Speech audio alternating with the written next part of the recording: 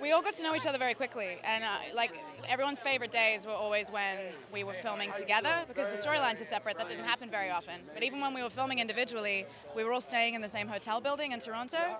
So we were all in a city none of us lived in, making this movie together. It was freezing outside, so we got, had to get to know each other. I'm Australian, so like I, I'd almost never seen snow before. So being able to be in a place where it snowed was amazing for me. My family and I always watch a Muppet Christmas Carol at Christmas. So it's like it's classic, it's Dickensian, but like we like the Muppet version. That's that's what we're into. Um, and I feel like everyone's a sucker for a rom com. You know, what's not to love about love?